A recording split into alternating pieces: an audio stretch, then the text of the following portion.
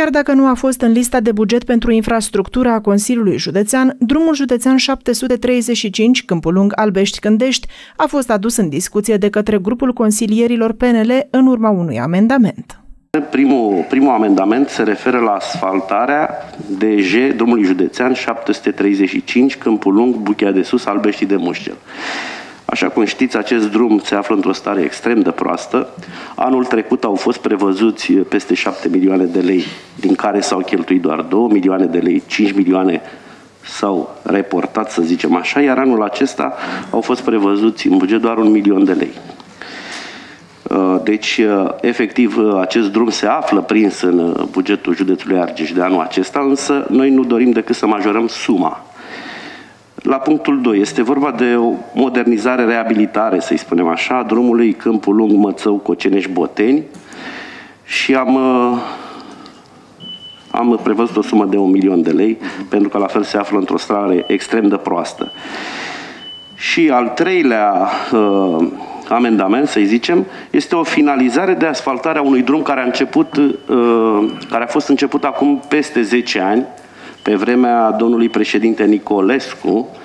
Este vorba de drumul DG 731C, Vețișoara Izvorul Cocu și între cele două localități, amândouă localități fiind cu primar PSD, asta înseamnă că nu am gândit într-un raționament politic, uh, este vorba de o, un rest de 864 de, de metri drum piatră care a rămas între cele două drumuri asfaltate. Cam asta, acestea au fost uh, amendamentele noastre și rugămintea mea și a noastră, a colegilor din grupul uh, Consilierilor Județenei PNL, este să le votăm individual. Primul care s-a opus amendamentului a fost chiar președintele Consiliului Județean Ion Mânzână. Acesta a spus că nu este de acord cu propunerea consilierilor PNL, găsind și o scuză, aceea că în Comuna Bughe de Sus se efectuează lucrări la rețeaua de canalizare. Uh, alocarea sumei de 10 milioane 870, 108 miliarde vechi. Da? Aici am luat în calcul uh, o, un preț mediu pe kilometru de 10 miliarde. Da. Pe kilometru de da. asfalt. Uh, voi vota împotrivă eu și vă spun și de ce.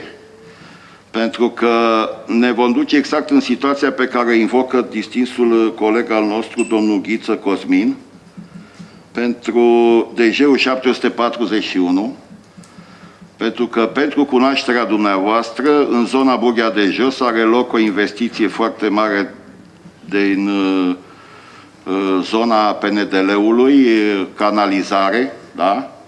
Și dacă ne vom grăbi cu asfaltul până când solul acela nu se va așeza așa cum trebuie, vom ajunge ca peste un an de zile sau doi ani să fim nevoiți să alocăm sume pentru întreținere și reparații. Din greșeli mai învățăm la momentul la care s-a lucrat pe DG 741, pe repede înainte, tot în baza unui proiect. S-a, de aceea apă canal este cea care are obligația să repare acolo toate lucrările respective. N-am avut timpul de așteptare necesar și ne-am grăbit să asfaltăm și lucrurile stau cum sunt. Lucrurile se leagă între ele. Răspunsul a venit din partea consilierului Bogdan David, acela că rețeaua de canalizare este adiacentă drumului județean, iar cele două proiecte se întâlnesc doar pe câteva sute de metri. Până la urmă, președintele Mânzână a reușit să rupă 650.000 de lei de la proiectul de modernizare a drumului Morărești-Cuca și să-i aloce reparațiilor pe drumul județean 735 Câmpul Lung Albești. De la Covor Bituminos DG 735 de la, nu, Morărești Cuca, da?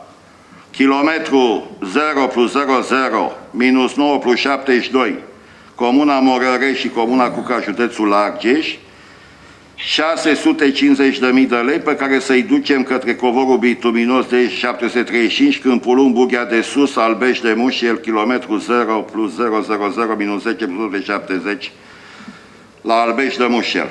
Grupul uh consilierilor județeni PNL a depus trei amendamente eh, la acest capitol transporturi la acest buget pentru modernizarea a trei drumuri județene, printre care și drumul județean 735 eh, Bughia de Sus, Albești de Mușcel. Eh, din păcate nu am reușit să avem și susținerea consilierilor județeni PSD.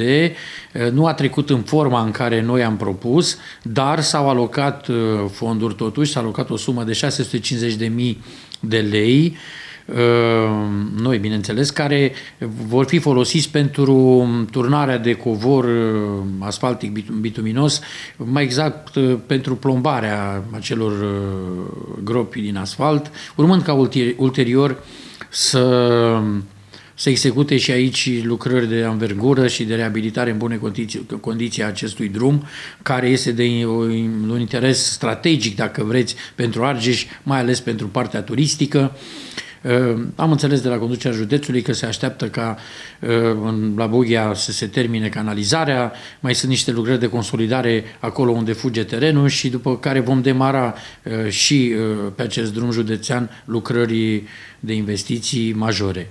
Așa se face că din cele 10 milioane cerute de consilierii PNL au fost alocați numai 650.000 de lei.